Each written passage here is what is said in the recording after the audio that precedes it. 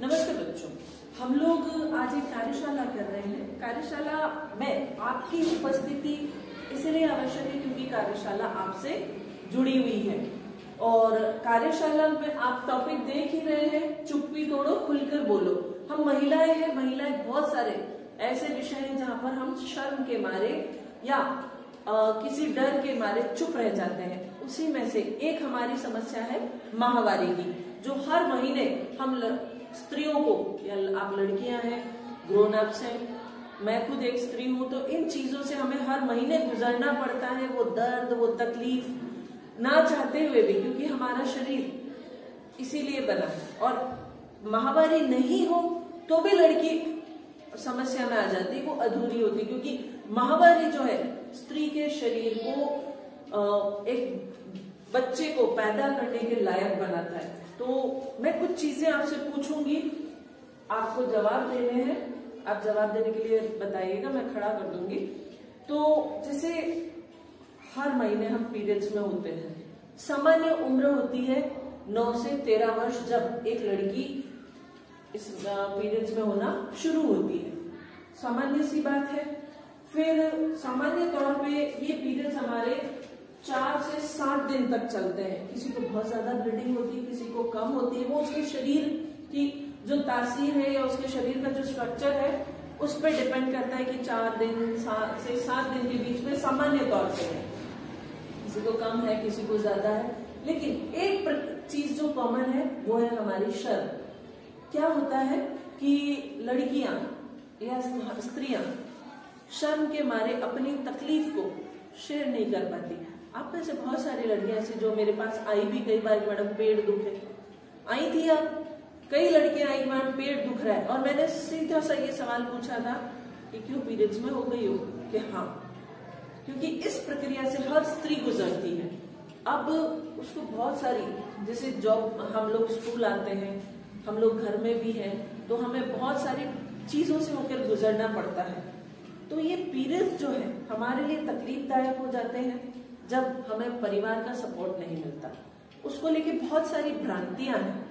तो अच्छा एक चीज़ बताइए कि हमारे शरीर से जो ये खून निकलता है वो अच्छा खून है या गंदा खून है? गंदा। गंदा क्यों है? क्योंकि वो गंदी जगह से निकलता है।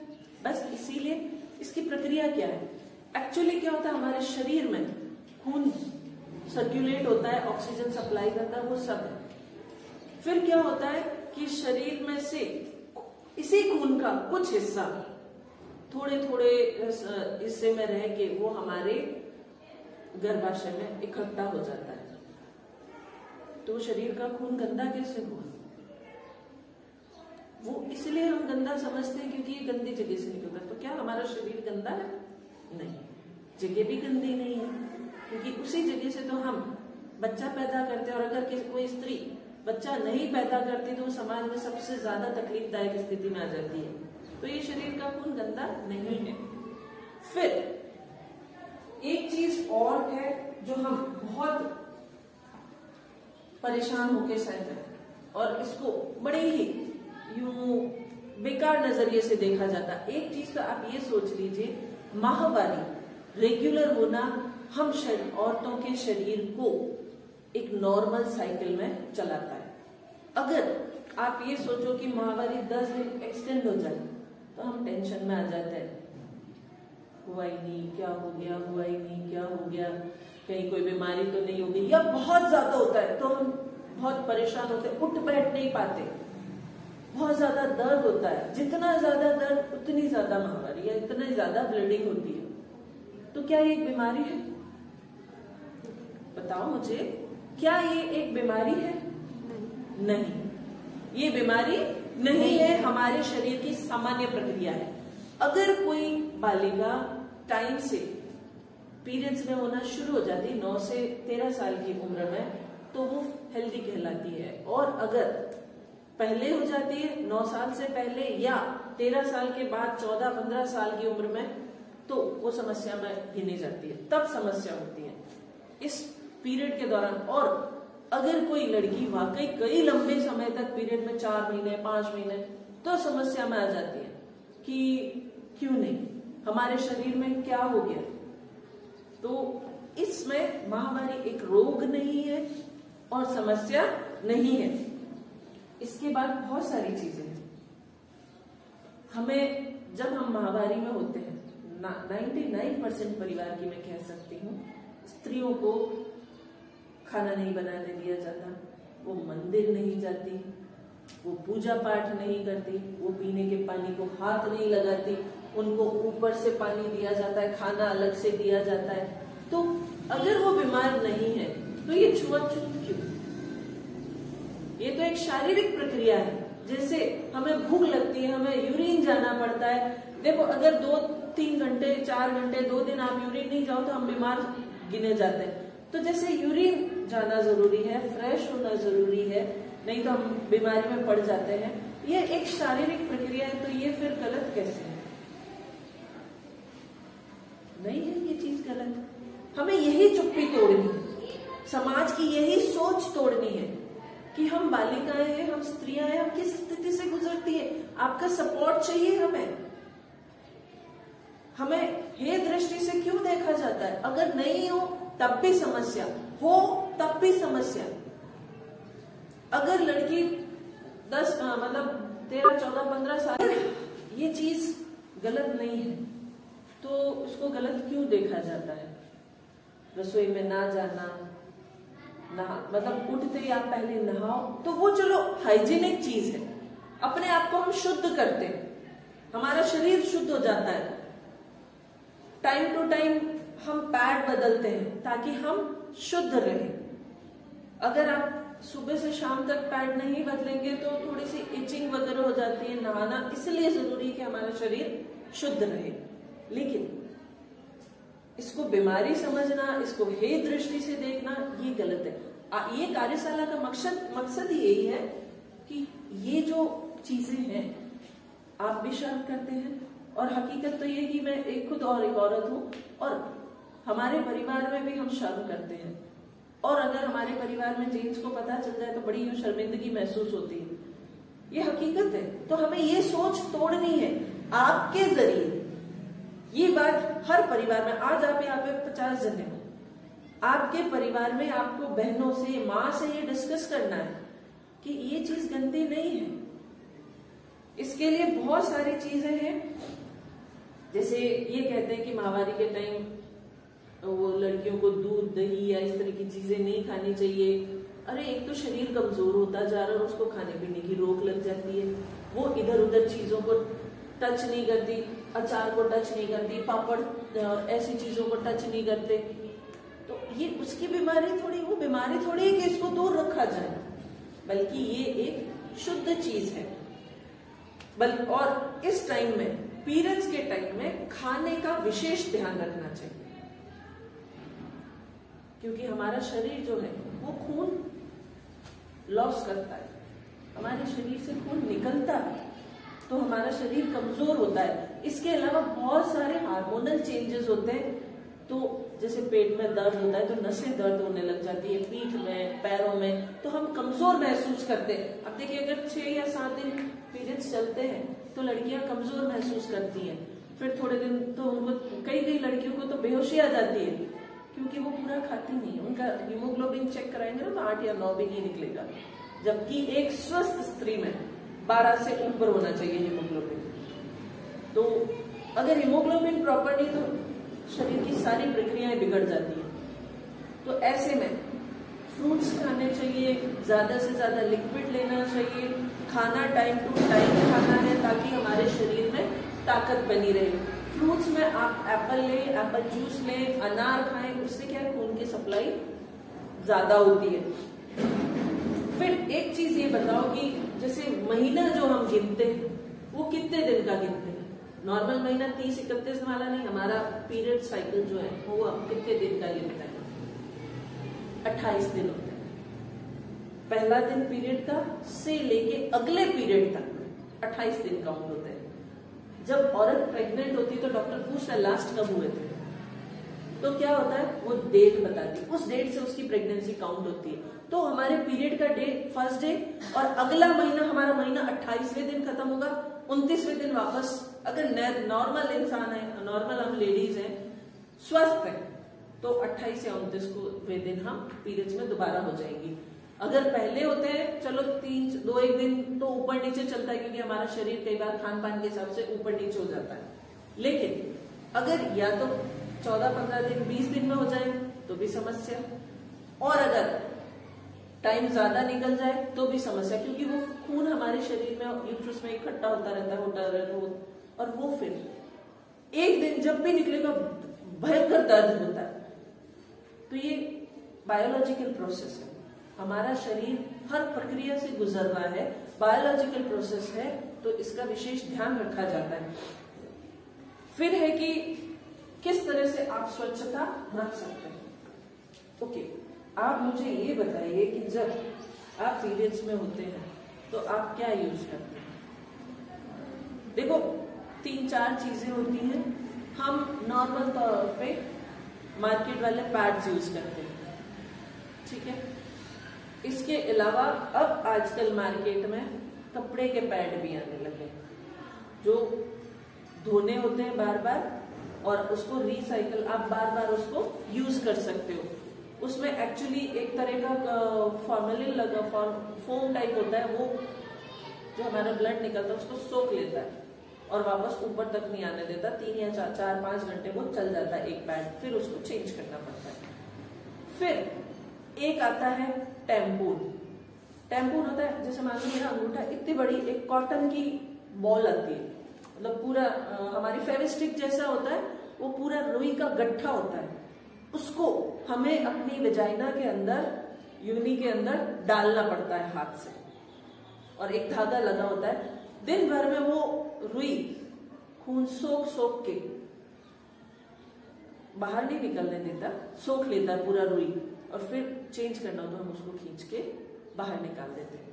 ये होता है। और एक आता है मेंस्ट्रुअल कप एक कप होता है। कप इन द सेंस वो प्लास्टिक प्लास्टिक भी नहीं कह सकते, वो सिलिकॉन का कप होता है। वो फोल्ड हो जाता है। उस कप को फोल्ड करके हमें हमारी योनि के अंदर डालना होता है और पूरे दिन में वो कप ब्लड से भर जाता है। फिर उसको निकाल के आप वापस धो के यूज़ कर सकते हो। तो हर एक की अपनी अपनी चॉइस है। ज़्यादातर लोग पैड्स यूज़ करते हैं क्योंकि उनको थ्रो करना होता है। यूज़ किया और थ्रो कर देना होता है। तो अब बात आती है, आप डिस्पोज ऑफ़ कैसे करते हैं? पहले तो ये है कि आप साफ़ सफ़ाई, अपनी साफ़ सफ़ाई पीरियड के टाइम कैसे करते हैं? एक बहुत ज़रूरी चीज़, आप टाइम से नहाए और, देखो, लड़कियाँ हो, बड़ी हो, सब सत्रह से ऊपर की हो, और आने वाले कुछ सालों में तुम माँ भी बनोगी। शर्म की चीज़ नहीं है। ये एक नॉर्मल चीज़ है। मेरी अपनी बेटी होती तो मैं भी यही समझाती। तो अपने आप को साफ़ रखो। अपने आप को साफ़ मतलब शरीर का हर अंग साफ़ रखो। नहाते वक्त पूरे शरीर को अच्छे से पानी से धो। साबुन भी, जैसे आप लोग घरों में जो साबुन यूज़ करते हैं, मैं, मुझे नहीं पता। लेकिन साबुन आप लें माइल्ड सोप या अलग से साबुन या इस तरह से लिक्विड है, पानी के डब्बे में घोल के नीचे से पूरा साफ़ करो। स्पेशली पीरियड टाइम्स क्यों? क्योंकि पैड रहता है, वो कई बार ये होता है कि हमें खुजली होती है। वो खुजली इसीलिए होती है क्योंकि वो गीला गीला रहता है, वो सारे दिन गीला गीला सा फीलिंग भले ही कितना ही पैड ब्लड को सोख ले, लेकिन वो गीला गीला रहता है।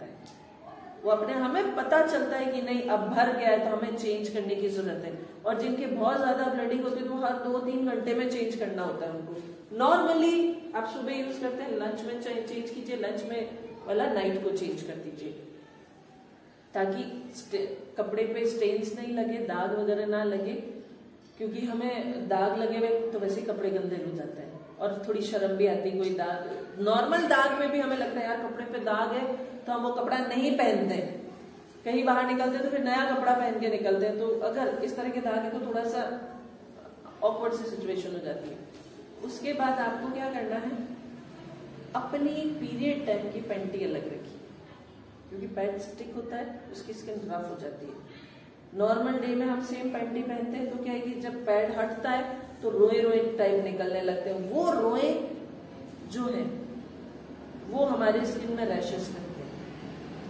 पीरियड खत्म हो गया, उसके बाद आप जगह को साफ़ कीजिए दो तीन चार दिन, पाँच दिन बाद और वहाँ पे कोई क्रीम वगैरह लगाइए बोरोप्लस बोरोलिन ताकि कहीं कोई रैशेज वगैरह हुए हो, खुजली चली है तो वो ठीक हो जाए।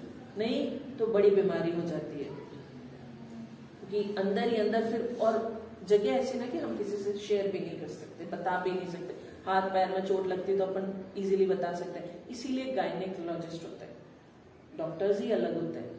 तो उनसे मतलब डॉक्टर तक जाने की नौबत ही क्यों आए? हम खुद इतने जागरूक हो जाए ना कि आप क्रीम लगाई, देखिए मैं खुल के बोल रही हूँ, मैं ट्रेनिंग लेके आई हूँ चुप्पी तोड़ो खुल के बोलो। तो मैं खुलकर बोल रही हूँ। और आपको भी यही करना, अपने साथ प्रॉब्लम हो, आप शेयर कीजिए। अंदर ही अंदर घुटने से बीमारी को बढ़ाने से बेटर है ना कि हम बात करें और सोल्यूशन निकालें। कभी इचिंग हो गई रैशेज हो गए पैड तकलीफ़ कर रहा था आप पैड चेंज कीजिए। पैड भी बहुत तरह के आते हैं। कॉटन कवरिंग वाले पैड भी आते हैं और नाइलॉन जाली वाले पैड भी आते हैं। तो जा, नाइलॉन जाली वाले पैड डेफिनेटली खुजली करते हैं। आप कॉटन कवरिंग वाले पैड लीजिए। बहुत तरह के पैड आते हैं। जो आपको सूट कर वो पैड लीजिए। इसके बाद आप पूरे प्लेस को गुनगुने पानी से बहुत अच्छे से साफ़ कीजिए। कीटाणु हटाने ज़रूरी है। अब ये है कि जैसे जब हम पीरियड्स में होने वाले होते हैं तो हमारे शरीर में ऑटोमेटिकली चेंजेस आ जाते हैं। बहुत सारे बहुत सारे चेंज आते हैं। जैसे आप हंसोगे तो लड़कियाँ जब पीरियड्स में होना शुरू होती है तो वो उनकी किशोरावस्था होती है। शुरुआत तभी होती तो लड़कियों की हाइट भी बढ़ती है हिप्स मोटे होते हैं आवाज़ भारी होती है, और हमारे जो प्राइवेट पार्ट्स हैं एरियाज़ हैं, वहाँ पर बाल निकलने शुरू हो जाते हैं। हमारे स्तन जो है, वो साइज़ बढ़ना शुरू हो जाती है, आप नोटिस करेंगे, अगर लड़की पीरियड में होनी शुरू हुई है, इसका मतलब उसके स्तन दिखना शुरू हो जाते हैं। तो ये एक नॉर्मल से शारीरिक चेंज है। बेटा, आप लड़कियाँ और लड़के बायोलॉजी में लड़के भी पढ़ते हैं ये चीज़ें तो आपको तो जानकारी होना ज़रूरी है। और स्किन जो है, वो ऑयली हो जाती है पिंपल्स वगैरह निकलते हैं। फिर बहुत सारी और चीज़ें चेंज होती वो आप धीरे धीरे जैसे महसूस की भी होगी आपने। फिर एक आ, हमें हर लड़की में ये चाहे लड़का किशोरावस्था में भी होगा तो वो अपने आप को वेल मेंटेन रखने की कोशिश करता है। ये भी एक मेन चेंज है।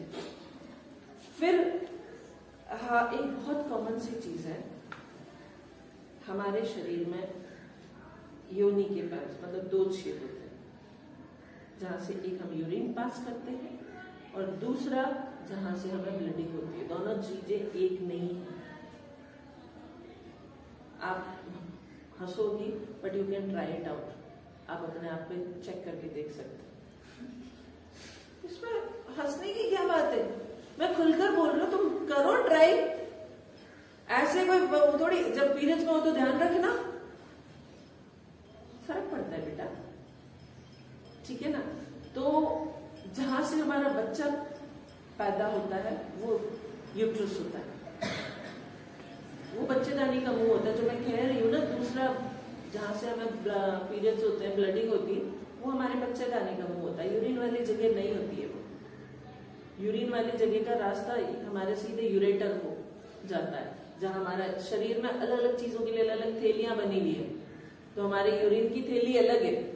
यूरिन उसी में इकट्ठा होता है उसी से, पतली सी पाइप के रास्ते से हमारे शरीर से बाहर आता है तो वो तो रास्ता टोटली अलग है। और बच्चेदानी का रास्ता अलग है।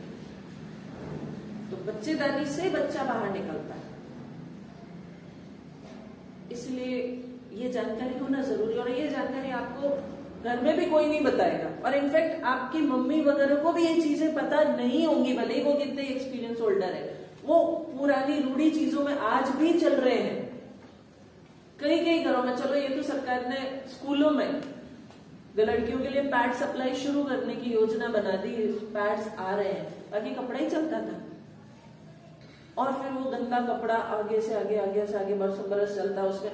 और फिर एक बात बताओ, गंदा कपड़ा जो होता है, उसको छाया में चलो कपड़ा अगर यूज़ होता है तो उसको कहा सुखाना चाहिए? छाया में या धूप में?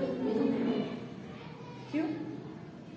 लॉजिक बताओ, बात उत्तर सही है, पर लॉजिक बताओ मुझे।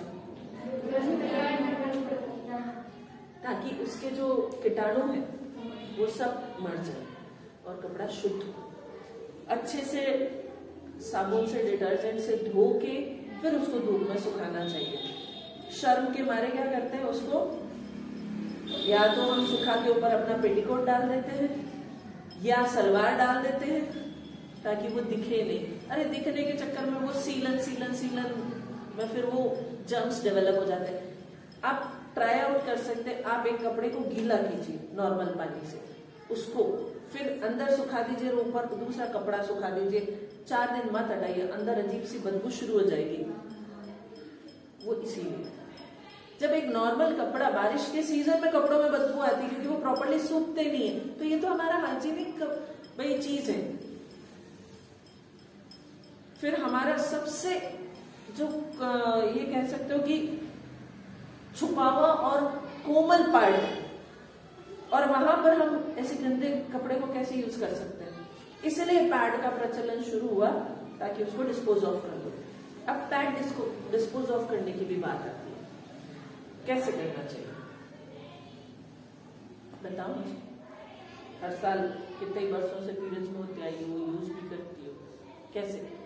स्कूलों में तो मशीन है, मान लो। मशीन में जल जाता है, लेकिन घरों में?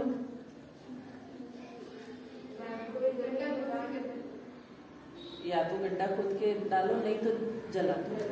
बेस्ट तरीका यही है जलाने का। आप उसको बर्न कर दो, क्योंकि उसके अंदर जो कॉटन होती है, वो कॉटन भी अलग तरीके की होती है, अपनी वाली रुई नहीं होती है। वो अलग तरह का फाइबर कॉटन होता है, उसमें फिर जेल और कुछ मेडिसिन डाली जाती है, जिससे वो ब्लड लीक नहीं होता फिर एक पॉलिथीन की वो कवर होती है बहुत सारी चीज़ें होती है जो पर्यावरण को नुकसान पहुंचाती है। ओपन रहेगा क्योंकि बाहर ऐसे ही डालते तो कुत्ते फाड़ फूड़ के सारा गंदगी भी फैला देते तो गंदगी होती है। फिर इससे जो जम्स निकलते वो पर्यावरण को गंदा करते हैं। तो इससे बेटर है या उसको या तो गड्ढा खोद के डाल दो या जलाना सबसे बेस्ट है। जलाने के लिए जैसे आ, कई जगह क्या करते हैं पुराने डिब्बे होते हैं उस डिब्बे में जला के मतलब वो पैड डाल के आग डाल देते हैं। तो पैड जल जाता है। तो ये चीज़ बहुत ध्यान रखने की चीज़ है। अब आप क्या करोगे? ये चीज़ें शर्म छुपाने की नहीं है। इसीलिए तो चुप्पी तोड़ो। अपने में, शरीर में अगर कहीं बीमारी है टाइमली पीरियड में नहीं हुए, या बहुत ज़्यादा ब्लडिंग हो रही है तो घर में बात करो। इसके लिए डॉक्टर्स हैं मेडिसिन हैं, गायनिकोलॉजिस्ट। स्त्री रोग विशेषज्ञ।